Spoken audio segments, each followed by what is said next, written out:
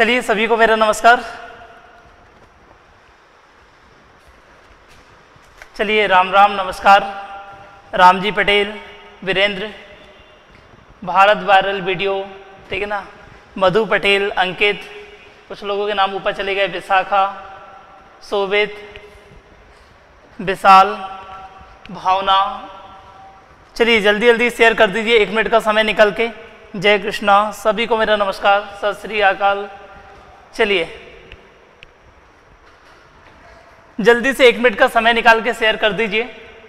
आज ज़्यादा लोगों को मैं शेयर नहीं कर पाया। फटाफट शेयर कर दीजिए। फिर पढ़ना स्टार्ट करते हैं। जो लोग नए आए हैं, वो लोग सब्सक्राइब कर लें। चलिए, अब तीन दिन हम लोग पूरे क्वेश्चन डिस्कस करने वाले हैं। और इसमें खास बात यह है कि अब हम लोग व्यापम के क्वेश्चन के साथ साथ एनटीपीसी के क्वेश्चन भी डिस्कस करेंगे ना? यहाँ पर जो है वो आरआरबी एनटीपीसी के क्वेश्चन भी डिस्कस करेंगे। एमपीपीएससी एमपीएसआई सारे क्वेश्चन डिस्कस करेंगे तो ओवरऑल अब ये हर एग्ज़ाम के लिए रहेगा। ऐसा नहीं रहेगा कि व्यापम की तैयारी करने वाले ही आए केवल। दिवाकर शर्मा एमपीपीएससी का रिज़ल्ट आ जाएगा जल्दी। टेंशन नहीं लेना है, बस अभी उपचुनाव हो जाए। न्यू वेज आप न्यू वेज कभी भी ज्वाइन कर सकते हैं क्योंकि ऑफलाइन ये जो ऑनलाइन क्लासेस हमारी चलती हैं, ये रिकॉर्डेड भी मिल जाएँगी आपको, है ना? करण, चलिए जल्दी से शेयर कर दीजिए, फिर हम लोग पढ़ते हैं। जीतू भैया, ठीक है। Thank you so much Dheeraj, चलिए। दीक्षा पटेल, सभी को मेरा नमस्कार, गजेंद्र, सभी का नाम नहीं ले पा रहा हूँ मैं, चलिए। तो आज टाइमिंग सुन लीजिए, सभी लोग टाइमिंग को लेकर बहुत ज़्यादा कंफ्यूज रहते हैं। तो टाइमिंग मैंने आपको पहले ही बताया कि आज हमारा फ्राइडे है। तो फ्राइडे हमारी क्लास कब रहेगी दोस्तों? तो याद रखिएगा, ये रहती है हमारी। फ्राइडे क्लास जो रहेगी हमारी तो ये रहेगी 10 बजे रहेगी। इसके अलावा सैटरडे मतलब कल क्लास कितने बजे रहेगी? 9 बजे रहेगी। संडे भी कितने बजे रहेगी? 9 बजे रहेगी। बस यही चेंज हुआ है। बायोलॉजी स्पेशल ऑलरेडी हमारा बेच चल रहा है। आप जो है इसमें इनरोल हो सकते हैं। इसकी जो फ़ीस है वो 249 में आपको मिल जाएगा। यदि आपको लगता है कि बायो आपको समझ में नहीं आती है तो आप इजीली पढ़ सकते हैं। एकदम सिंपल वे में पढ़ाएँगे। और इसके अलावा कूपन कोड मैंने आपको पहले ही बताया था। ये है S R P S R P A one four zero one इस कोड को जो है वो आपको अप्लाई करना है तो 249 में ये कोर्स आपको मिल जाएगा। इसके अलावा जोग्राफी स्पेशल बेच हमारा ऑलरेडी चल रहा है और पॉलिटी स्पेशल इसमें तीन तीन दिन क्लास होती है। मंडे ट्यूसडे और वेडनेसडे जोग्राफी की क्लास होती है और उसके बाद पॉलिटी की क्लास होती है इसमें थर्सडे फ्राइडे और सैटरडे पॉलिटी की जो फ़ीस है, ये है 299 है और जोग्राफी स्पेशल की जो फ़ीस है, ये है 399 ये ऑफ़र केवल वन मंथ, इसी मंथ के लिए है। इसके अलावा फिर फ़ीस हंड्रेड हंड्रेड रुपये आपकी प्लस होते चलेगी।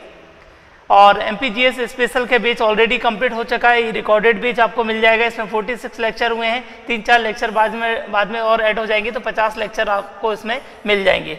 चलिए, आज का हमारा पहला क्वेश्चन अब आपके सामने आ गया। जल्दी से आंसर बताइए। फटाफट। हिस्ट्री का न्यू बेच भी स्टार्ट होने वाला है। ठाकुर साहब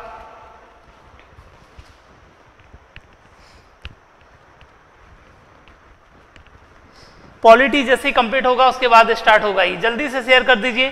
जो लोग नए आए हैं, वो लोग सब्सक्राइब कर लें। और वीडियो को लाइक भी कर दें। देखो डिसलाइक करके तो पहले ही चला गया था कोई बंदा। हमारी टीचिंग स्टाइल मैंने पहले भी बताया था। ये दारू की बोतल की तरह होती है। कुछ लोगों को पसंद आती है तो कुछ लोगों को क्या है, इससे एलर्जी होती है। चलिए, आज का पहला क्वेश्चन जो है, वो आपके सामने है। जल्दी से आपको बताना है। निम्नलिखित में से सही मेल आपको बताना है। मेज करना है, जल्दी से बताइए। अच्छा क्वेश्चन है ये। जल्दी से बताइए। कौन सा आपको बताना है कि कौन सा सही नहीं है? बाकी तो तीन जो ऑप्शन दिए, वो सही दिए हैं। आपको बताना है कौन सा इनमें से सही नहीं है। रामजी पटेल, नमस्कार। चलिए आंसर बताइए जल्दी से। देखो, यहाँ ज़िले दे दिया था। हालाँकि ऐसे क्वेश्चन आपको पढ़ना नहीं है, ज़िले याद नहीं रखना है। अदरवाइज़ आप कितने जो है वो याद रखेंगे ज़िले। लेकिन फिर भी कॉमन सेंस कहीं लगता है तो फिर आपको ऑप्शन निकालते क्या है? आना चाहिए। करंट अफेयर्स में पढ़ा दूँगा। एग्ज़ाम के पहले एनटीपीसी के पहले मैं करंट अफेयर्स पढ़ा दूँगा आपको। अभी जो है वो अफेयर्स और करंट अफेयर्स दोनों पे अभी नहीं, अभी इस पर ध्यान दीजिए आप। तो जल्दी से बताइए तो देखो सरिस्का नेशनल पार्क ये अलवर में है, ये राइट आंसर है। वाल्मीकि आपको पता है, ये बिहार में और हजारीबाग कहाँ पड़ता है? ये झारखंड में पड़ता है। तो इसके हिसाब से ऑप्शन देखा जाएगा तो बी जो है, वो आंसर क्या है? नहीं है। है ना? तो ये राइट आंसर क्या आएगा? आपका बी आएगा। ये याद रखिएगा, क्योंकि वाल्मीकि नेशनल पार्क कहाँ पर है? बिहार में है। पैंस तो आपको पता है, नागपुर में भी है और इसके अलावा हमारे यहाँ सिवनी जिला भी टच होता है और फिर कहाँ टच होता है? तो ये आपको पता है, छिंदवाड़ा जिला भी टच होता है। सी ऑप्शन क्यों लगा रहे हैं सारे के सारे, मुझे समझ में नहीं आ रहे हैं। ऐसे सी तो वैसे ही नहीं आएगा ना? क्वेश्चन ही नहीं पढ़ रहे हैं आप। इसमें क्या लिखा हुआ है? आपको बताना है कि कौन सा जो है वो परियोजना के साथ जो है वो सुमेलित नहीं है। तो यहाँ पर पैंच लिखा इसका मतलब क्या है? नागपुर में भी आता है ये, छिंदवाड़ा में भी आता है और सिवनी में भी आता है। तो ये ऑप्शन तो आएगा ही नहीं। कॉमन सेंस वाली बात है ये तो। फिर हम देखो ऑनलाइन पढ़ाना छोड़ देंगे, ऐसे आंसर नहीं लगाना है आपको। इसके अलावा भी लगा सकते थे हजारीबाग आपको पता होना चाहिए झारखंड में है और वाल्मीकि कहाँ पर है तो ये बिहार में है। तो आंसर क्या आएगा? ऑप्शन आ जाएगा बी वाल्मीकि नेशनल पार्क कहाँ पर है दोस्तों? तो ये याद रखिएगा, ये है बिहार में है ये। क्लियर हुआ? हजारीबाग का पठार हमने पढ़ा है क्लास में, वो कहाँ पर है? झारखंड में है।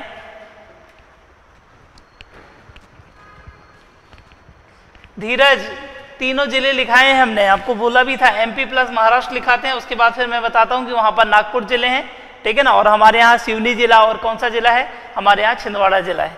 चलिए, अब आपको बताना है देश का पहला या विश्व का पहला, आपको बताना है विश्व का पहला गो अभ्यारण्य। मध्य प्रदेश के किस ज़िले में स्थापित किया गया है? और 2019 में अभी बोला है कि मध्य प्रदेश में दूसरा गो अभ्यारण्य कहाँ पर स्टेब्लिश किया जाएगा? जल्दी से बताना है दोनों आंसर। ऑफलाइन क्लास कब से स्टार्ट होगी? ऑफलाइन गवर्नमेंट जब भी बोल दे तब स्टार्ट हो जाएगी। हम तो स्टार्ट करने के लिए ही बैठे हुए हैं। चलिए। जल्दी जल्दी बताइए, फटाफट। बहुत ही अच्छा क्वेश्चन है ये। कमेंट करके ये भी बताना है 2019 में दूसरा गौ अभ्यारण्य दूसरा गौ अभ्यारण्य मध्य प्रदेश का दूसरा गौ अभ्यारण्य कहाँ पर बन रहा है? प्रस्तावित है ये। क्लास में पढ़ाया भी है मैंने आपको। चलिए, जल्दी से बताइएगा। इसका राइट आंसर आ जाएगा बी आंसर आ जाएगा इसका तो। इसका राइट आंसर क्या जाएगा? बी आ जाएगा। और इसके अलावा दूसरा गो अभ्यारण्य कहाँ पर प्रस्तावित है? तो ये है बसामन, बासामन, बसामन मामा। कहाँ पड़ता है ये? तो बसामन मामा, ये है दोस्तों, रीवा में है ये। टोंस नदी के किनारे है और टोंस नदी के किनारे ही ये बनने वाला है दूसरा गौ अभ्यारण्य। रीवा ज़िले में बनेगा, है ना? सर्वेश कुमार पटेल, यह सर सही आंसर है। बस आपको जिला याद है। बसावन मामा, यस। सत्यम शुक्ला। चलिए। अब बढ़ते हैं आगे तो रीवा जिला याद रखें तो जिला भी पूछ सकता है। और यहाँ आपको पता है कि गाँव यदि आपसे पूछेगा तो आपको पता होना चाहिए, सालरिया।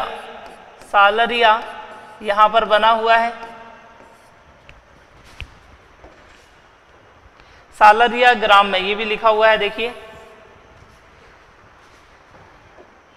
पीडीएफ जिसको नहीं मिल पा रही है तो टेंशन नहीं लेना है। दो तीन दिन में मैं क्या है, इसी पे ही जो है वो लिंक में डाल दूँगा, ताकि आपको सारी पीडीएफ मिल जाएगी। निम्न में से आपको फिर से बताना है। मिस मेज कौन सा है? जल्दी से बताइए। Identify mismatched pairs from the following जल्दी से बताइए। इनमें से मिस मेज बताना है।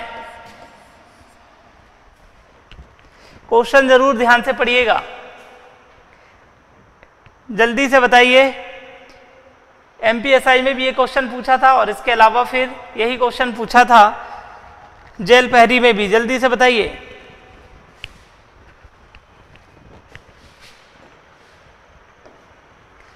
इंदिरा सागर खंडवा में है तो राइट आंसर है ये तो ठीक है ना? इसके अलावा पगारा भोपाल में है क्या? जल्दी से बताइए। नहीं है ना? पगारा बाँध कहाँ पर है दोस्तों? तो ये मुरैना में है, मैंने आपको क्लास में भी पढ़ाया है। कहाँ पर है? पगारा बाँध तो ये मुरैना में है और आसन नदी पर है ये। मुरैना में आसन नदी पर है ये। लिख लीजिए। पगारा बाँध कहाँ पर है? मुरैना में है। पहसरी बाँध तो आपको पता है कि कहाँ ग्वालियर में है। गुलाब सागर ये भी हमने पढ़ा है तो ये सीधी में है। डैम का वीडियो डाला है, आप चाहें तो देख सकते हैं इसी में। है ना? परीक्षा धाम चैनल पर एम की जो प्ले लिस्ट है, उसमें सारे के सारे जो है वो डैम डिस्कस किए गए हैं। इसके अलावा मध्य प्रदेश का पहला सिंचाई टैंक कौन सा है? जल्दी से बताइए। बहुत ही अच्छा जो है वो क्वेश्चन है ये। जल्दी से बताइए। झलकमती, पगारा या फिर बंजारा या पलकमती। हालाँकि व्यापम का जो क्वेश्चन आया था, वो थोड़ा सा अलग था, ये जल्दी से बताइए। मध्य प्रदेश का पहला सिंचाई टैंक कौन सा है? उन्होंने पूछा था, मध्य प्रदेश का पहला सिंचाई टैंक जो भोपाल के नज़दीक है, ये ऐसा कुछ ऑप्शन दिया था।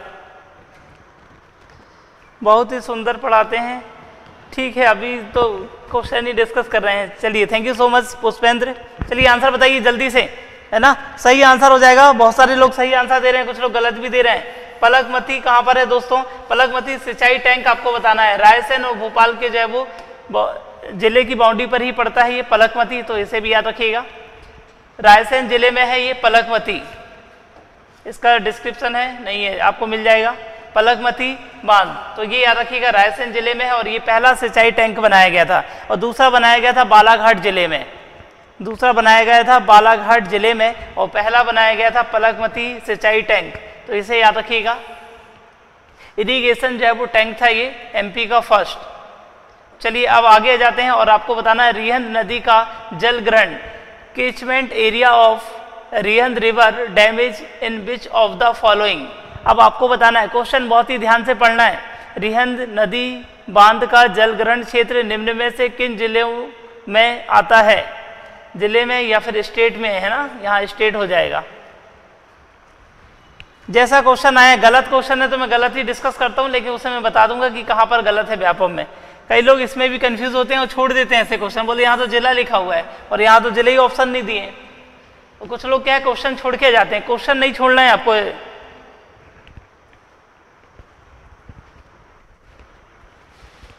चलिए, जल्दी से जल्दी शेयर करते चलिए। 95 लोग हो गए, जल्दी से 100 पहुंचाइए। सैटरडे और संडे सभी लोग को कल एक एक दोस्त को लेकर आना है है ना? कल सभी लोग को क्या है, एक एक दोस्त को ऑनलाइन लेकर आना है, कल अच्छे धमाकेदार क्वेश्चन करेंगे हम लोग।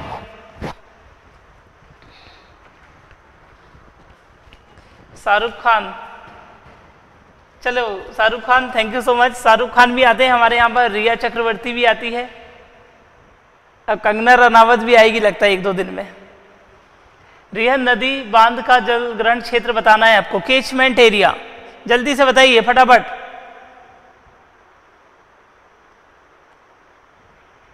क्या होगा आंसर? देखो, ए मध्य प्रदेश, छत्तीसगढ़ और उत्तर प्रदेश है ना? तो बिल्कुल राइट आंसर है, क्योंकि केचमेंट एरिया पूछ रहा है। केचमेंट एरिया का मतलब है कि इसकी कोई सहायक नदी होगी, वो कहीं ना कहीं छत्तीसगढ़ से क्या है कनेक्ट होगी। लेकिन क्वेश्चन यदि आपसे ये पूछता है, दोस्तों कि रिहंद परियोजना किन दो राज्यों के मध्य संयुक्त परियोजना है? रिहंद परियोजना। परियोजना किन दो राज्यों के मध्य है? तो अब आपको लगाना है मध्य प्रदेश प्लस उत्तर प्रदेश। लेकिन यहाँ पर पूछ रहा है जल ग्रहण क्षेत्र। जल ग्रहण क्षेत्र का मतलब होता है केचमेंट एरिया जल ग्रहण क्षेत्र, तब इसमें क्या क्या आ जाएगा? तब इसमें जाएगा मध्य प्रदेश आ जाएगा, प्लस यूपी भी आ जाएगा प्लस जो है वो छत्तीसगढ़ भी आ जाएगा। क्वेश्चन जो है बहुत ध्यान से पढ़ना है, उसके बाद लगाना है। क्वेश्चन गलत नहीं होता है। बहुत ही कम रेयर कंडीशन में है कि एमपीपीएससी के क्वेश्चन बस गलत होते हैं। बाकी कोई क्वेश्चन जो है वो गलत, बहुत ही कम मिलेंगे आपको। चलिए। शाहरुख खान, आप पहचानते हैं कैरियर पावर में? यस, मुझे याद आ रहा है, शाहरुख खान, आप हमसे पढ़े हुए हैं। चलिए। अब आपको बताना है, रिहंद, मैंने आपको पहले बताया था, सोन नदी की सहायक नदी है ये, है ना? और इसे क्या है, गोविंद पल्लव पंत भी जो है वो कहा जाता है, याद रखिएगा। गोविंद बल्लभ पंत सागर भी कहा जाता है, रिहंद बाँध को। अब यहाँ पर आ जाइए। निम्नलिखित में से कौन सा विश्व का पहला राष्ट्रीय उद्यान है? जल्दी से आपको बताना है। बाकी क्वेश्चन आपको नहीं पढ़ना है तो कोई दिक्कत नहीं है। पहला आपने पढ़ लिया है। विश्व का पहला राष्ट्रीय उद्यान। जल्दी से बताना है। धीरज, आप कंफ्यूज हो गए हैं। ये वाली बात नहीं है, वो अलग है। वो बाण सागर का बता रहे हैं आप। आप थोड़ा सा कम पढ़ें, लेकिन अच्छा पढ़ें।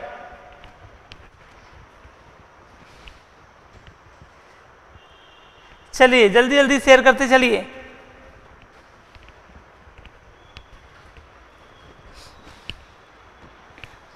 फटाफट शेयर करते चलिए। विश्व का पहला राष्ट्रीय उद्यान बताना है आपको। येलो स्टोन नेशनल पार्क है ग्रीन स्टोन है पिंक स्टोन है या ग्रे स्टोन है? जल्दी से बताना है आपको। अठारह सौ बहत्तर में स्टेब्लिश हुआ था और उस समय अमेरिकी राष्ट्रपति जिन्होंने इसका उद्घाटन किया था, उनका नाम था, ठीक है ना? ओलाइसिस ग्रांट ओलाइसिस ग्रांट इनका नाम था तो इन्हें भी याद रखिएगा। तो सही आंसर आ जाएगा दोस्तों येलो स्टोन नेशनल पार्क कहाँ पर है ये? तो ये यूएसए में है, याद रखिएगा। कहाँ पर है? यूएसए में है, और ये पहला हमारा विश्व का नेशनल पार्क था ये। जबकि भारत का नेशनल पार्क पहला यदि आपसे पूछेगा, तब आपको क्या लगाना है? जिम कॉर्बेट लगाना है। जिम कॉर्बेट भारत का पहला नेशनल पार्क है, याद रखिएगा। उन्नीस सौ चौंतीस, उन्नीस सौ पैंतीस में ये स्टेब्लिश हुआ है, इसे याद रखिएगा। इसके अलावा मध्य प्रदेश का पहला नेशनल पार्क पूछेगा तो आपको लगाना है Kanha Kisli national park Kanha Kisli national park चलिए तो ये स्टेब्लिश हुआ है। 1955 में हमने पढ़ा था, तब इसे क्या है नेशनल पार्क बनाया गया था। अब आपको बताना यह है येलो स्टोन नेशनल पार्क आगे भी डिस्कस करेंगे कभी। अब आपको बताना है, गुरु घासीदास राष्ट्रीय उद्यान का निर्माण वर्ष क्या है? चलिए, मज़ा आ रहा है शेयर करते चलिए फटाफट। मज़े नहीं लेना है आपको, पढ़ना भी है सभी लोगों को। या शुभम रघुवंशी बुड बफेलो सबसे बड़ा है। जल्दी से शेयर कर दीजिए। गुरु घासीदास राष्ट्रीय उद्यान का निर्माण वर्ष आपको बताना है।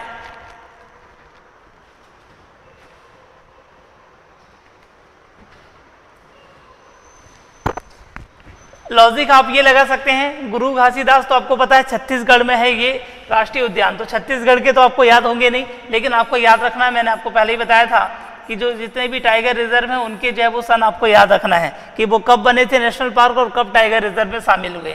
तो संजय गांधी नेशनल पार्क नहीं है ये, संजय डिवरी नेशनल पार्क, ये मैंने आपको बताया था, संजय डिवरी नेशनल पार्क। ये है हमारे यहाँ पर और ये स्टेब्लिश हुआ था उन्नीस सौ इक्यासी में। और आपको पता है कि जब विभाजन हुआ, सन 2000 में तो छत्तीसगढ़ अलग चला गया और छत्तीसगढ़ में इसका भाग कुछ चला गया और वही नेशनल पार्क का नाम फिर इन्होंने क्या है, चेंज कर दिया 2002 में। 2002 में फिर क्या है कि इसका जितना भी भाग आता था वहाँ सरगुजा ज़िले में तो उन्होंने क्या है, इसका नाम चेंज कर दिया और इसका नाम रख दिया है गुरु घासीदास राष्ट्रीय उद्यान। तो ये है छत्तीसगढ़ में, लेकिन स्टेब्लिश तभी हुआ है। यदि आपसे नाम पूछे कि नाम कब चेंज किया है 2002 में नाम चेंज कर दिया है। और एक और क्वेश्चन, यदि आपसे पूछता है कि गुरु घासीदास यूनिवर्सिटी कहाँ पर है तो वो है रायपुर में। चलिए, इतना बस याद रखना है। अब आपको बताना है, रिज़र्व बैंक के जो गवर्नर थे और इनका कार्यकाल जो है वो समाप्त हो चुका है। और ये यूएसए के किस विश्वविद्यालय में वित्त के प्रोफेसर हैं, जल्दी से आपको बताना है। फाइनेंस के जो है, वो प्रोफेसर हैं ये, जल्दी से आपको बताना है। Professor of finance. तो आपको पता है, बहुत ही फ़ेमस व्यक्ति हैं, जिनका नाम क्या है? राजन साहब हमारे, रघुराम राजन। अच्छा ये बिलासपुर में है क्या? चलिए सॉरी सॉरी बिलासपुर में होगी, लेकिन छत्तीसगढ़ में है ये यूनिवर्सिटी है ना? यहाँ पर आ जाइए, जल्दी से बताना है इसका। रघुराम राजन। ये कहाँ के प्रोफेसर ऑफ़ फाइनेंस हैं, जल्दी से बताइए एनटीपीसी का क्वेश्चन है ये। कई लोग अब तुक्का मारते हैं, यदि आपने न्यूज़ नहीं पढ़ा, फिर ऐसे क्वेश्चन आपको नहीं बनेंगे, याद रखिएगा ना। चलिए तो ये हैं बूथ स्कूल शिकागो है ना? यूनिवर्सिटी ऑफ़ शिकागो का ही ये भाग है ये तो यहीं पर है, ये याद रखिएगा ये। प्रोफेसर ऑफ़ फाइनेंस और आपको पता है, रघुराम राजन का जन्म हुआ है भोपाल में, याद रखिएगा। तो हमारे मध्य प्रदेश से संबंधित है, इनका जन्म हुआ है भोपाल में। और ये आईआईटी बॉम्बे में भी पढ़े हैं आईआईएम अहमदाबाद में भी पढ़े हैं, काफ़ी फ़ेमस पर्सनालिटी हैं ये। चलिए।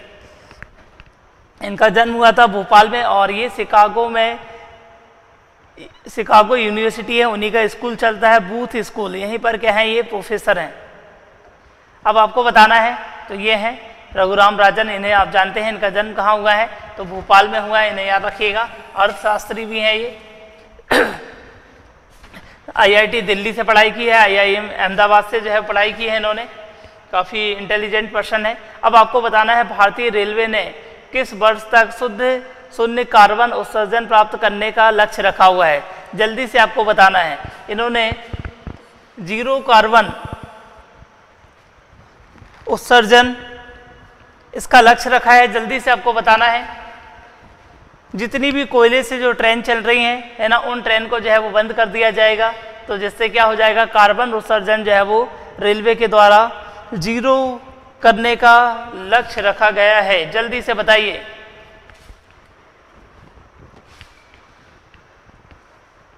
अच्छा क्वेश्चन है, ये बहुत ही प्यारा क्वेश्चन है।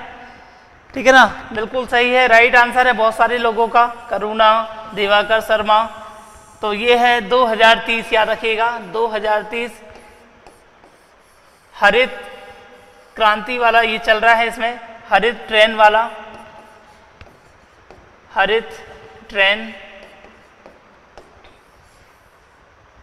योजना तो उसी से संबंधित है, ये याद रखिएगा। तो 2030 में क्या है, जितनी भी कोयले से चलने वाली ट्रेन है, उनको बंद कर दिया जाएगा। सारी की सारी जो है, वो क्या है इलेक्ट्रिकल हो जाएँगी। अब आपको बताना है कि सांविधिक कानून के माध्यम से भारत और पाकिस्तान दो स्वतंत्र राष्ट्रों में विभाजित किए गए थे। बहुत ही प्यारा क्वेश्चन है और एकदम ईजी क्वेश्चन है ये। भारतीय स्वतंत्रता अधिनियम उन्नीस सौ सैंतालीस, पाकिस्तान स्वतंत्रता नियम उन्नीस सौ सैंतालीस, या फिर आपको बताना है, भारतीय विभाजन अधिनियम उन्नीस सौ सैंतालीस या फिर पाकिस्तान विभाजन अधिनियम उन्नीस क्या होगा सही आंसर? उन्नीस सौ राइट आंसर है, ये तो आपको पता है। अब आपको बताना है उस बिल का क्या नाम था। चलिए, जल्दी जल्दी शेयर करते चलिए। एक मिनट का समय निकाल के जल्दी से शेयर करना है।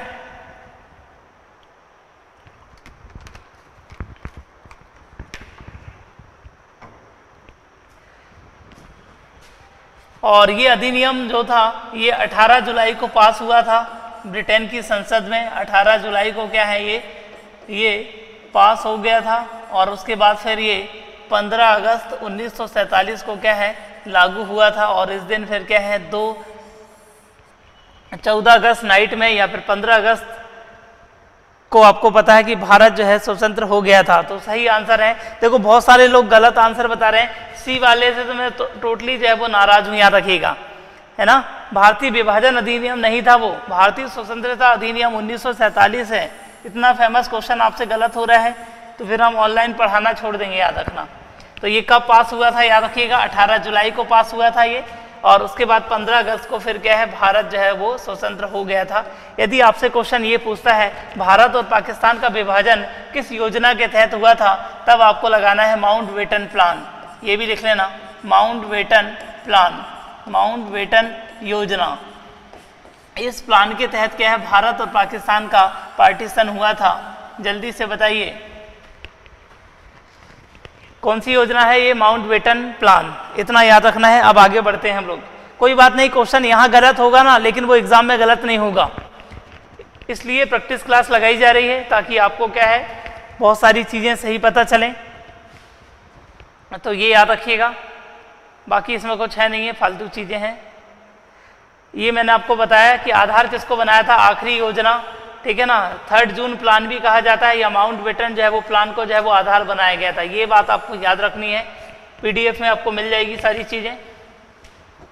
चलिए, अब आपको बताना है, भारतीय ओलंपिक संघ के वर्तमान अध्यक्ष कौन है? जल्दी से बताइए एनटीपीसी का क्वेश्चन है।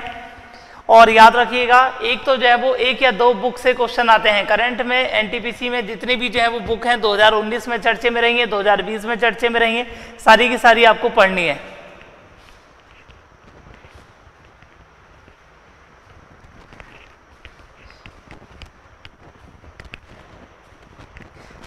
शेयर करते चलें, फिर आपको मैं करेंट अफेयर्स भी पढ़ा दूँगा, लेकिन बस आप सपोर्ट करें।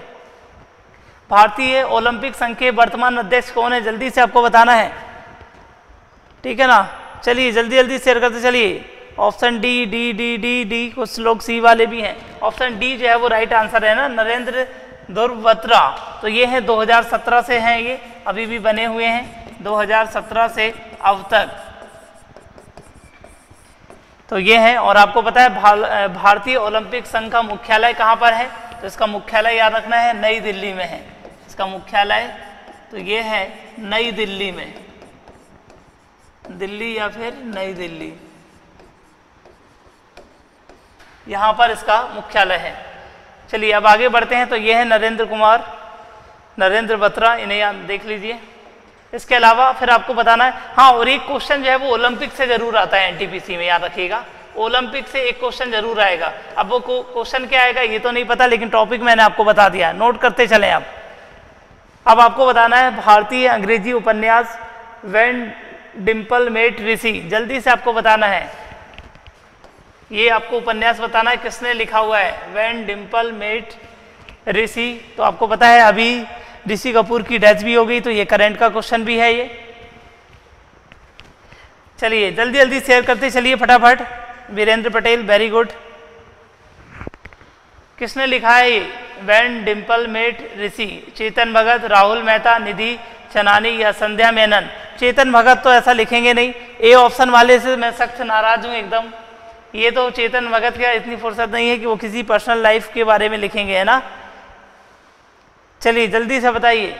अब तीन ऑप्शन जो है वो बचे हुए हैं। क्वेश्चन तो आंसर तो मुझे भी नहीं पता। जल्दी से बताइए, क्या होगा right answer Shobhit Kumar D option बोल रहे हैं आप। कोमल त्रिपाठी ए तो नहीं होगा। दिनेश पटेल ए सब लोग ए बोल रहे हैं अभी भी। ए तो हमने मना कर दिया। है ना? तो सही आंसर हो जाएगा संध्या मेनन। संध्या मेनन। कुछ लोगों का आंसर सही था, शोभित का सही था। आई होप आपको पता हो। तो वैन डिम्पल मेट ऋषि तो ये याद रखिएगा किसने है, लिखा है ये? संध्या मेनन ने लिखा है। तो ये है संध्या मेनन, इनको याद रखें ये। ठीक है ना? ये दिखाई दे रहा है तो यही है इनका cover when Dimple met Rishi. अब आपको बताना है ओलंपिक चिन्ह का अर्थ क्या है? जल्दी से बताइए। ओलंपिक चिन्ह आपको पता है, जिसमें पाँच रिंग हैं, और अब आपको ये बताना है इसका अर्थ क्या है। एनटीपीसी का क्वेश्चन है वाट दस द ओलंपिक सिंबल मीन व्यापक में भी आ चुका है, जल्दी से बताइए।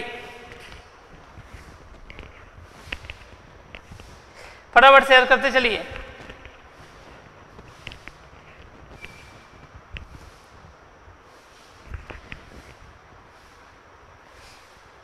तो राइट आंसर आ जाएगा कंटिन्यूटी है ना? निरंतरता जो है वो, इसका जो है वो राइट आंसर आ जाएगा। ओलंपिक चिन्ह में आपको पता है, पाँच रिंग है ये। देख लीजिए ये, कितनी रिंग है इसमें? पाँच रिंग है, जिसमें से पाँच कलर में है, याद रखिएगा ये। ये दिखाई दे रहा है आपको, पाँच कलर में है। यदि आपसे पूछ लेता है कि रेड कलर किसको बताता है तो ये अमेरिका को बताता है, याद रखिए। किसको रिप्रेजेंट करता है? अमेरिका को रिप्रेजेंट करता है। इसके अलावा हरा कलर किसको रिप्रेजेंट करता है? ऑस्ट्रेलिया को रिप्रेजेंट करता है। ये ज़रूर याद रखिएगा। कई एग्ज़ाम में पूछा गया है। हरा कलर ऑस्ट्रेलिया को रिप्रेजेंट करता है और एशिया को कौन सा कलर करता है तो ये येलो कलर करता है। पीला कलर ये कलर बना है यहाँ मैंने देखिए डायग्राम भी बना हुआ है मेप भी बना हुआ है। पीला कलर किसको बताता है ये? एशिया को रिप्रेजेंट करता है। इसके अलावा फिर काला कलर तो आपको पता है, अफ्रीका को रिप्रेजेंट करता है, अफ्रीका महाद्वीप को। इसके अलावा फिर यूरोप को रिप्रेजेंट करता है तो ये याद रखिएगा, नीला कलर यूरोप को रिप्रेजेंट करता है। चलिए, ये पाँचों क्वेश्चन आए हुए हैं, इनको याद रखिएगा। अब बढ़ते हैं आगे। किस भारतीय लेखक ने थिंग्स टू लिव बिहाइंड पुस्तक में कुमायूं की पहाड़ियों का वर्णन किया है? जल्दी से आपको बताना है। बहुत ही अच्छा क्वेश्चन है ये। ये भी व्यापम का क्वेश्चन है एनटीपीसी का। जल्दी जल्दी बताते चलिए। करेंट के क्वेश्चन है ये सारे के सारे।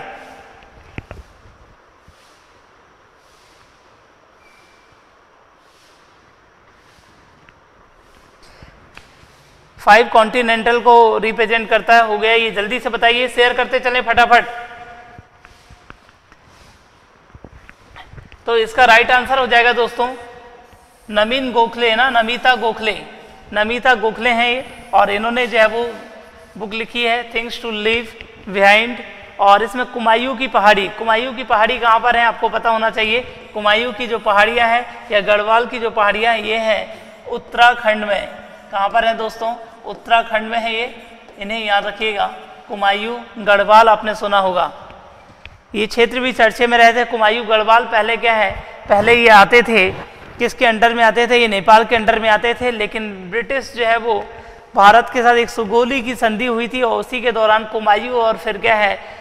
गढ़वाल को क्या है? ब्रिटिश भारत में मिला लिया गया था, नेपाल को हराकर। तो अभी ये लोग बोल रहे थे कि हमें क्या है, ये वापस चाहिए ये लोग तो कुछ भी बोलते रहते हैं। चलिए। तो ये है नमिता गोखले, ठीक है ना? याद रखें इनको भी।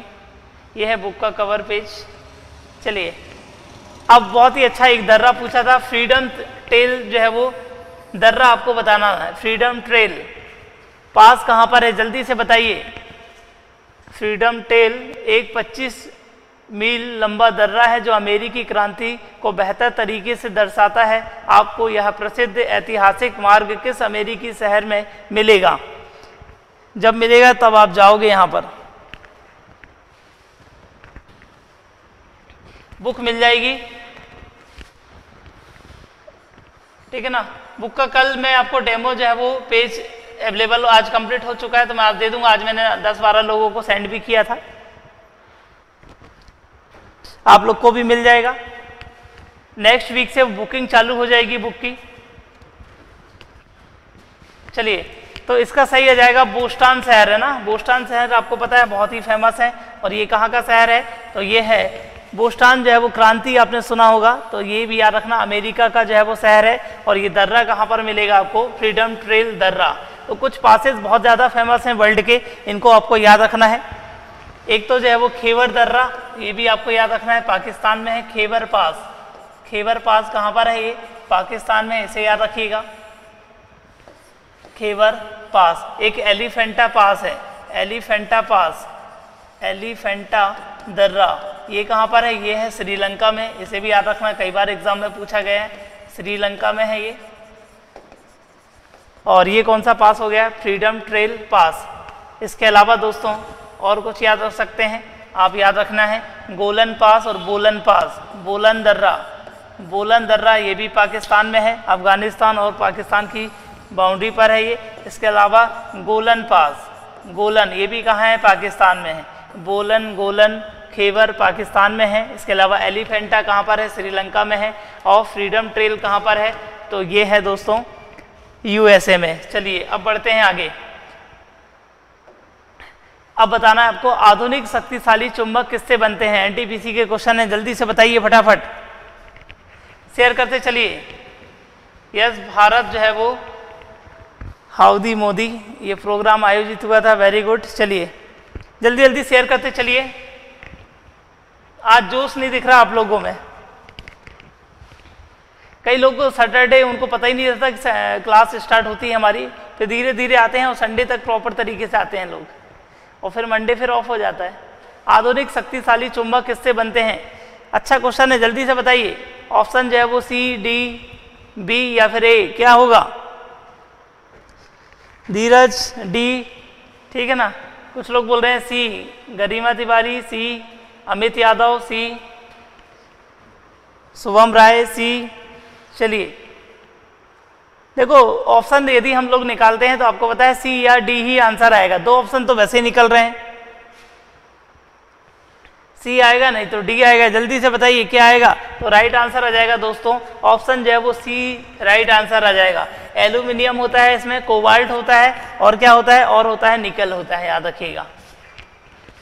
तो ऑप्शन सी जो है वो राइट आंसर हो जाएगा। अब आपको बताना है, जब नींबू के रस को खाने के सोडे पर डाला जाता है तो उसमें तेज जो है वो उफान आता है। तो उसे हम, उसमें कौन सी गैस होती है आपको बताना है। जल्दी से आपको बताइए। या बेकिंग सोडा में जो है वो बेकिंग सोडा बोल रहे हैं। सोडा वाटर जो होता है, उसमें कौन सी गैस मिलाई जाती है? सोडा वाटर गैस किसे कहा जाता है? या नींबू के रस को खाने के सोडे पर डाला जाता है तो उसमें से कौन सी गैस उत्पन्न होती है? जल्दी जल्दी बताइए। कोई बात नहीं, गलत कर गए तो कोई बात नहीं, धीरज आपसे गलत नहीं होना चाहिए क्वेश्चन मोनिका प्रजापति भी आ गई हैं। जल्दी से बताइए ऑप्शन सी बता रहे हैं ना? राइट आंसर है, आपको पता है। तो वो है कार्बन डाइऑक्साइड बहुत इजी क्वेश्चन है। कई बार क्वेश्चन ये पूछ लेता है कोल्ड ड्रिंक में कौन सी गैस मिलाई जाती है? तो भी आपको लगाना है कार्बन डाइऑक्साइड याद रखिएगा। इसके अलावा सबसे ज़्यादा जो है वो सर्वाधिक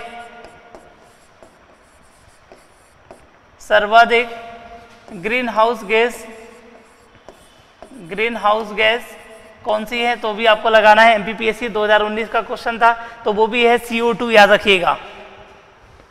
कार्बन डाइऑक्साइड लेकिन क्वेश्चन ये भी आता है कि, देखिए, बहुत अच्छा प्यारा क्वेश्चन था ये नॉन पॉल्यूटिंग गैस कौन सी कहलाती है ये? ऐसी कौन सी गैस है जो प्रदूषण नहीं फैलाती, याद रखिएगा। तो आपको कार्बन डाइऑक्साइड ही लगाना है। नॉन पॉल्यूटिंग जो है वो गैस कहलाती है, ये प्रदूषण नहीं फैलाती है, भलाई जो है वो ये पृथ्वी को क्या है, गर्म करती है है ना? ग्लोबल जो है वार्मिंग के लिए जिम्मेदार है ग्रीन हाउस के लिए जिम्मेदार है, लेकिन ये प्रदूषण नहीं फैलाती है। देखो, कितनी अच्छी बात बताई आपको। चलिए, अब आपको बताना है जीएसटी लागू करने वाला पहला देश कौन सा है? फटाफट बताइए। जीएसटी आपको पता है, एक जुलाई 2017 से लागू हुआ है। जल्दी से बताना है आपको, हमारे भारत में लागू हुआ है एक जुलाई 2017 से। और संविधान संशोधन कौन सा है ये? 101 संविधान संशोधन है ये, है ना? एक टैक्स, ठीक है ना? वन टैक्स, वन नेशन, ये इसका टैग लाइन भी है तो उसी से याद रख सकते हैं आप। एक नेशन और एक क्या हो जाएगा? टैक्स तो वन ज़ीरो वन याद रहेगा? ये संविधान संशोधन है हमारा वन ज़ीरो वन और एक जुलाई 2017 और एक जुलाई को ही क्या मनाया जाता है? जीएसटी जो है वो दिवस भी मनाया जाता है। तो ये भी याद रखें जीएसटी डे और डॉक्टर डे एक ही दिन जो है वो सेलिब्रेट किया जाता है। अब आपको यहाँ आंसर बताना है। तो ऑप्शन जो है वो फ्रांस आ जाएगा ना? फ्रांस याद रखिएगा। एफ़ आ रहा है तो फ़र्स्ट जो है वो इसी ने लागू किया था। है ना? तो ऐसा भी याद रख सकते हैं। फ़र्स्ट फ्रांस ने लागू किया था जीएसटी बाकी और भी क्वेश्चन इसके बारे में डिस्कस करेंगे। अब आपको बताना है, एक मुस्लिम संत थे जो उस जगह पर रहते थे जहाँ फतेहपुर सीकरी का निर्माण किया गया। जल्दी से आपको बताना है कि फतेहपुर सीकरी में इनमें से किसकी दरगाह है? सिंपल भाषा में कहें, आसान भाषा में। ठीक है ना? जल्दी से बताइए शेयर करते चलिए फटाफट। एक मिनट शेयर हो जाए, उसके बाद ही मैं नेक्स्ट क्वेश्चन बोलूँगा।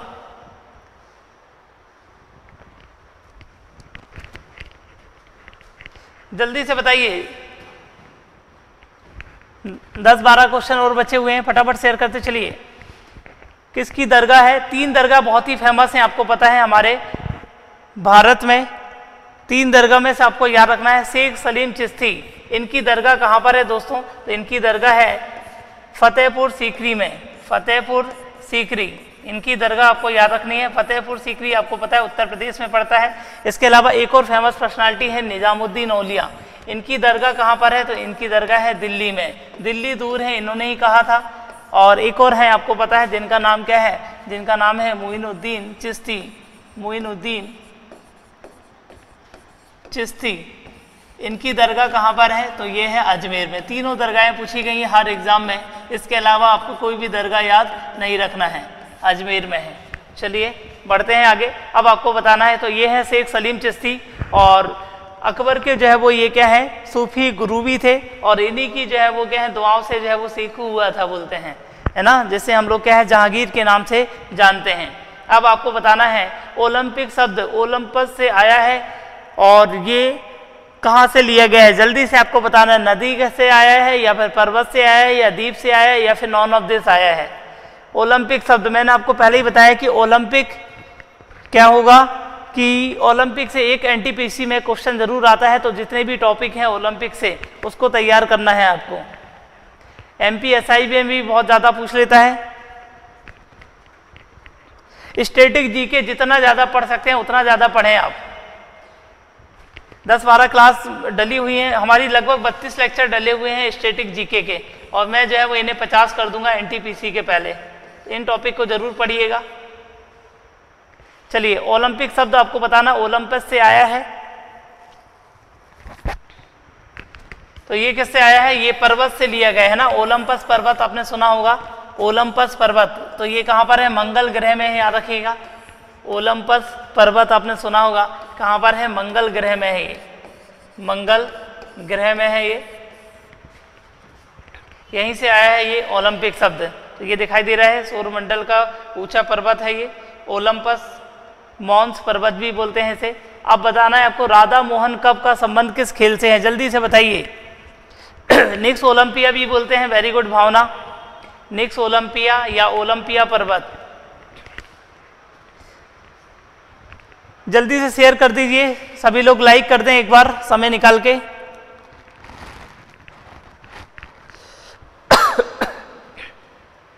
चलिए। तो राइट आंसर आ जाएगा दोस्तों। कुछ लोग बोल रहे हैं बी कुछ लोग बोल रहे हैं डी दिवाकर शर्मा, जल्दी से बताइए। अमित यादव बी कुछ लोग डी बोल रहे हैं, कुछ लोग बी बोल रहे हैं। राधा मोहन कप तो ये आपको बताया किससे संबंधित है? ये पोलो से संबंधित कप है, याद रखिएगा। पोलो से संबंधित कप है। पोलो की यदि हम बात करें तो इसमें चार खिलाड़ी होते हैं, याद रखिए, कितने खिलाड़ी होते हैं? चार खिलाड़ी होते हैं। एक, दो, तीन, चार। कितने खिलाड़ी होते हैं इसमें? चार खिलाड़ी होते हैं, याद रखिएगा। एमपीपीएससी 2017 में पूछा था वाटर पोलो में कितने होते हैं? वाटर पोलो में कितने खिलाड़ी होते हैं? तब आपको याद रखना है, देखो कितने शब्द हो रहे हैं। एक, दो, तीन, चार, पाँच छः सात। तो वाटर पोलो में पूछेगा तो कितने लगाना है? सात लगाना है। और पोलो में कितने लगाने हैं? चार लगाने हैं आपको। खिलाड़ी कितने होते हैं? चार जो है वो खिलाड़ी होते हैं इसमें। पोलो में, वाटर पोलो में कितने होते हैं? सात होते हैं। याद रहेगा? चलिए, इसके अलावा पृथ्वीपाल सिंह, ये भी आपको याद रखना है। पृथ्वीपाल सिंह कप, ये किससे संबंधित है? पोलो से संबंधित है। राधा मोहन कप तो ये भी पोलो से संबंधित है। क्लास कप, ये भी किससे संबंधित है? पोलो से संबंधित है। और एजार कप, ये भी किससे संबंधित है? पोलो से संबंधित है। ऐसा याद रख सकते हैं, पृथ्वी और राधा क्लासिक एज में है। चलिए। अब आपको बताना है, ये क्वेश्चन करेंट का भी था, मैंने डिस्कस भी किया था। लेकोनस ऑर्गेनाइजेशन के अनुसार किस केमिकल के कारण काना किसली के बाग अत्यधिक तनाव में रहते हैं? क्वेश्चन जो है वो मैंने ये बताया भी था और ये क्वेश्चन करंट में, चर्चे में भी रहा है। 2017 में भी इन्होंने रिपोर्ट दी थी, अभी फिर से रिपोर्ट दी है 2020 की। क्लास में मैंने लिखाया हुआ है ये क्वेश्चन आपको। लेकोनस ऑर्गेनाइजेशन ये कहाँ का है? ये हैदराबाद का ऑर्गेनाइजेशन है। तेलंगाना स्टेट का, हैदराबाद का ऑर्गेनाइजेशन है लेकोनस। और इन्होंने ये बताया था कि भारत में सबसे ज़्यादा तनाव में रहते हैं रणथंबोर नेशनल पार्क के रणथंबोर नेशनल पार्क के बाघ और उसके बाद मध्य प्रदेश में रहते हैं हमारे यहाँ के जल्दी से बताना है, कान्हा किसली नेशनल पार्क के। इसके अलावा, कान्हा किसली के अलावा हमारे यहाँ बांधवगढ़ नेशनल पार्क है। यहाँ के टाइगर भी क्या है, तनाव में रहते हैं और इसका राइट आंसर आ जाएगा मेटाबोलाइट मेटाबोलाइट याद रखिएगा।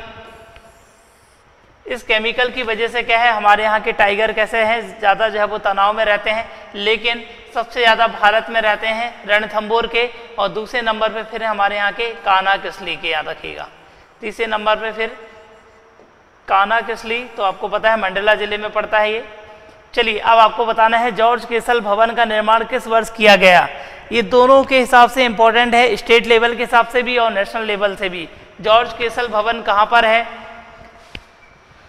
जल्दी से बताना है और इसका निर्माण कब किया गया है, ये क्वेश्चन डिस्कस हो चुका है यहाँ पर। जल्दी से बताइए। बहुत सारे लोगों के राइट आंसर हैं। चलिए, अब इसका बताना है आंसर। जल्दी जल्दी बताते चलिए।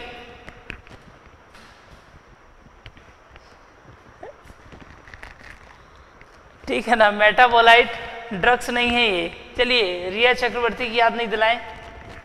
अभी कहीं ना कहीं ऑप्शन में आएगी रिया चक्रवर्ती। तैयार हो रही है अभी। जॉर्ज केसल भवन, जल्दी से बताइए। तो 1911 में मैंने आपको बताया था, जब किंग जॉर्ज फिफ्थ आए थे और मेरी आई थी। मेरी मतलब क्या है? इनकी वाइफ है ना?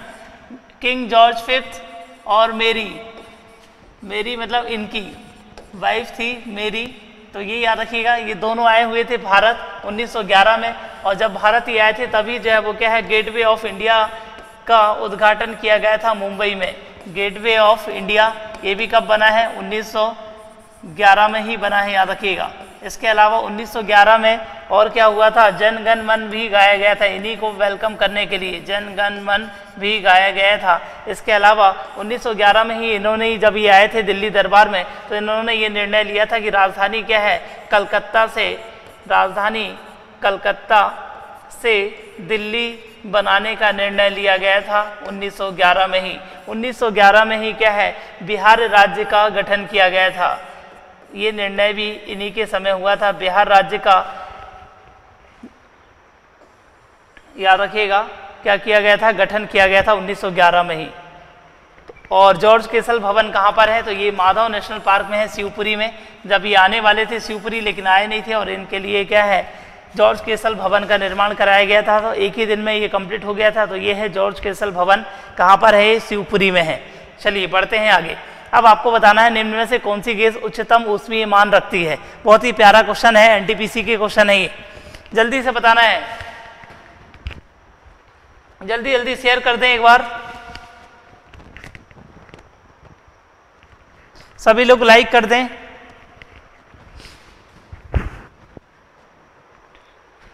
फटाफट बताइए। बस पाँच, छह क्वेश्चन और बचे हुए हैं।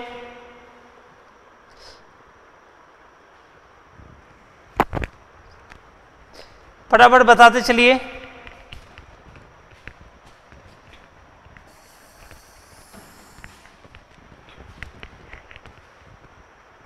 जल्दी से बताना है, क्या होगा राइट आंसर कुछ लोग बी बी बोल रहे हैं, सभी लोग। उनको लग रहा है कि सबसे उच्चतम उसमी मान इसी का होगा ना? क्योंकि यहाँ भाप लगा हुआ है, अंगार लगा हुआ है तो उनको लग रहा है यही होगा। कंगना रनावत जैसी जो फीलिंग आ रही है इसमें। भाप, अंगार, गैस। लेकिन राइट आंसर होगा प्राकृतिक गैस, है ना? Natural gas. 160 जो है वो सेल्सियस डिग्री पर जो है वो क्या है ये? कैसी हो जाती है? लिक्विड हो जाती है। और इसलिए अब कम जगह पर ज़्यादा जो है वो बन जाती है ये। 160 डिग्री पर याद रखिएगा, उबलती है और ये लिक्विड हो जाती है फिर। तो सबसे ज़्यादा उसमें मान किसका रहता है? तो ये रहेगा ए का नेचुरल गैस का याद रखिएगा। अब आगे आ जाते हैं और फिर आपको बताना है, मध्य प्रदेश का पहला आम बजट 10 जनवरी उन्नीस सौ सत्तावन को किसने विधानसभा में पेश किया था? जल्दी से बताना है आपको। फटाफट। यस कुछ लोगों के राइट आंसर थे ए वाले। 10 जनवरी उन्नीस सौ सत्तावन को किसने विधानसभा में पेश किया था? मध्य प्रदेश का पहला आम बजट। बहुत ही अच्छा क्वेश्चन है ये। एमपीएसआई का क्वेश्चन भी है और वही क्वेश्चन जो है वो जेल पहरी में भी पूछा था। इतने क्वेश्चन लगाना है और टेस्ट हमेशा देते चले आप। जितने ज़्यादा जो लोग टेस्ट दे रहे हैं ना सिलेक्शन उन्हीं का होगा याद रखना। बिना टेस्ट के कुछ नहीं होता है।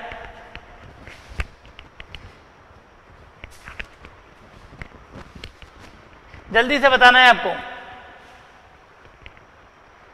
पहला आम बजट किसने किया था? ऑप्शन जो है वो बी जो है वो राइट आंसर है। मिश्री लाल गंगवाल। तो ये है, याद रखिएगा। तो इन्होंने ही पहला बजट हमारा मध्य प्रदेश का प्रारंभ किया था, ये भी याद रखना है। और एक और क्वेश्चन पूछा था एम पी 2018 का क्वेश्चन था कि मध्य प्रदेश में योजना मध्य प्रदेश में पंचवर्षीय योजना का प्रारंभ कब से माना जाता है? पंचवर्षीय योजना का प्रारंभ कब से माना जाता है? तो पंचवर्षीय योजना याद रखिएगा। तीसरी जो पंचवर्षीय योजना थी, यही मध्य प्रदेश की पहली पंचवर्षीय योजना थी। तीसरी पंचवर्षीय योजना मध्य प्रदेश की प्रॉपर तरीके से पहली पंचवर्षीय योजना थी। चलिए, इसके अलावा अब बताना है आपको मध्य प्रदेश के उज्जैन और रतलाम में शिक्षा के लिए गाँव घर स्थापित किए गए हैं। इनका संबंध किससे है? जल्दी से आपको बताना है। गाँव घर। जल्दी से आपको बताना है। विलेज हाउस सेटअप किए गए हैं। विलेज हाउस का रिलेशन किससे है? ओल्ड एज एजुकेशन मतलब बुढ़ा पढ़ाई, जिसे हम लोग प्रौढ़ शिक्षा भी कहते हैं, या फिर जो है वो ग्रामीण शिक्षा से संबंधित है ये, या फिर जनजाति शिक्षा से संबंधित है, या फिर जो है वो नारी शिक्षा से संबंधित है। जल्दी से बताना है आपको। राइट आंसर क्या होगा? बहुत सारे लोगों का राइट आंसर आ गया है। जल्दी से दिवाकर शर्मा का सबसे पहले आंसर आया है। चलिए, नहीं, सबसे पहले आया है पंकज का। चलिए, मोनिका प्रजापति वेरी गुड तो सही आंसर आ जाएगा। ओल्ड एज एजुकेशन से संबंधित है ये। प्रौढ़ शिक्षा या इसी को हम लोग बोलते हैं बुढ़ा पढ़ाई। बुढ़ा पढ़ाई। तो ये याद रखिएगा। अच्छा क्वेश्चन है ये। अब आपको बताना है मध्य प्रदेश का एकमात्र स्टॉक एक्सचेंज इंदौर में है और इसे कब स्टेब्लिश किया गया था? जल्दी से बताना, बहुत ही अच्छा क्वेश्चन है ये। जबकि भारत का पहला स्टॉक एक्सचेंज बी ये 1875 में मुंबई में स्टेब्लिश किया गया था। बी एस कहाँ स्टेब्लिश किया गया था? मुंबई में। और मध्य प्रदेश का एकमात्र, अब आपको बताना है कि कब स्टेब्लिश किया गया था स्टॉक एक्सचेंज और ये कहाँ पर है? इंदौर में है मध्य प्रदेश का। जल्दी से बताना है। ठीक है ना? अब तो बहुत सारे लोग तुक्का मार रहे हैं। B B B B B, उन्नीस सौ सैंतीस, उन्नीस सौ सैंतीस। गोलू यादव, कुछ लोग सी भी बोल रहे हैं। जल्दी से बताइए फटाफट। सही आंसर हो जाएगा दोस्तों 1900 जो है वो 30 ए हो जाएगा। ए में स्टेब्लिश किया गया था। 1930 में याद रखिएगा इंदौर में और बीएससी बॉम्बे स्टॉक एक्सचेंज ये मध्य प्रदेश का नहीं है, ये भारत का सबसे पहला है, कहाँ पर है, ये मुंबई में है। एशिया का भी सबसे पहला था ये।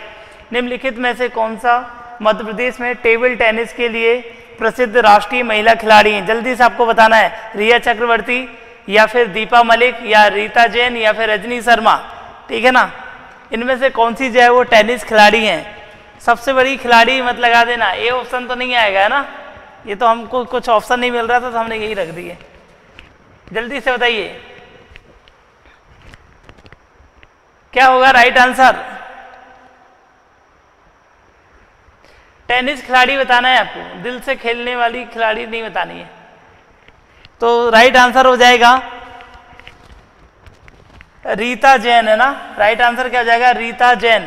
तो ये इंपॉर्टेंट है, याद रखिएगा, इंदौर से बिलोंग करती हैं ये। इनका जन्म हुआ था इंदौर में। ये 1972 1975 के मध्य में क्या है?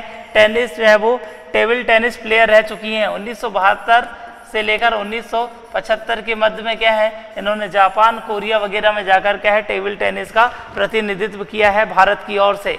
तो ये एमपी की हैं, बहुत फ़ेमस हैं ये, इनको याद रखिए। अब बताना नाभिकीय रिएक्टर में इनमें से कौन सा ईंधन काम करता है? जल्दी से आपको बताना है, कोयला यूरेनियम रेडियम या फिर डीजल बहुत ही इंपॉर्टेंट है, जल्दी से बताइए। सेकेंड लास्ट क्वेश्चन है। रविंद्र राजपूत, चलिए, फटाफट शेयर करते चलिए।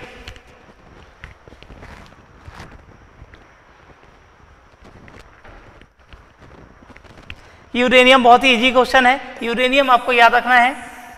अभी भारत का समझौता हुआ करंट की यदि हम बात करते हैं यूरेनियम चर्चे में रहा है, वर्तमान में यदि हम बात करते हैं तो हमने किसके साथ जो है वो, कजाकिस्तान के साथ भारत का समझौता हुआ है याद रखिएगा।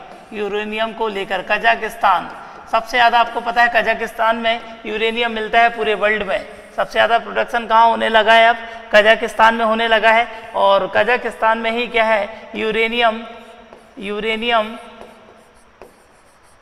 बैंक स्टेब्लिश किया गया है। यूरेनियम बैंक कहाँ बनाया गया है? कजाकिस्तान में ही स्टेब्लिश किया गया है। वर्ल्ड यूरेनियम बैंक कजाकिस्तान में बनाई गई है 2018 में ही और इसके अलावा वर्तमान में ये समझौता हुआ है कजाकिस्तान के साथ भारत का।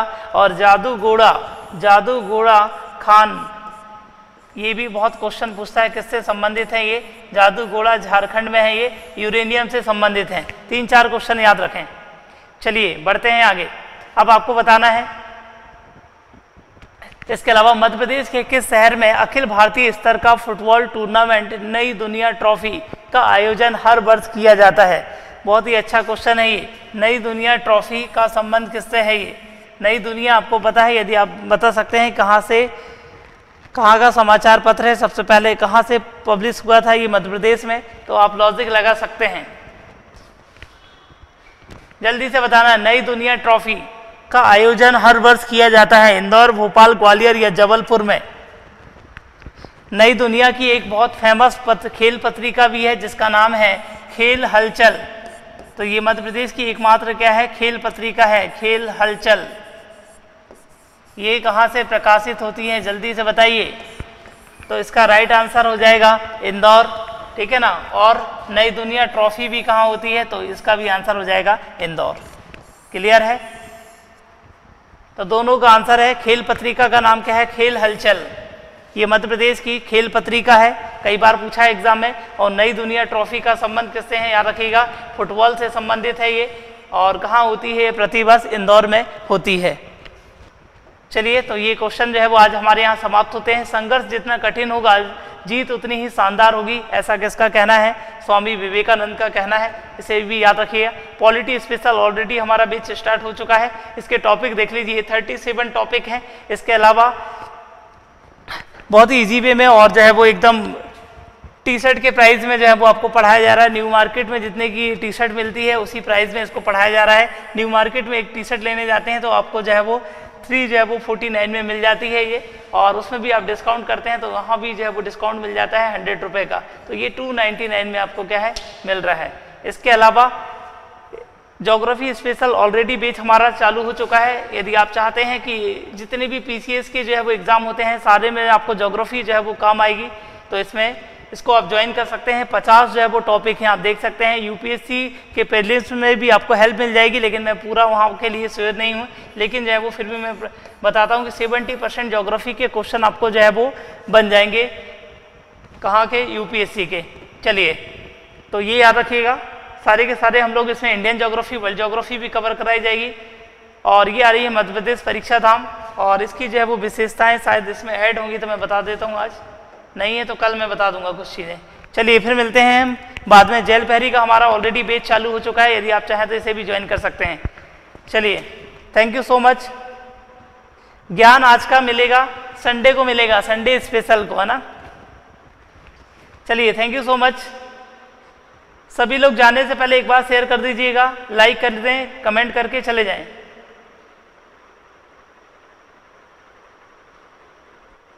चलिए थैंक यू सो मच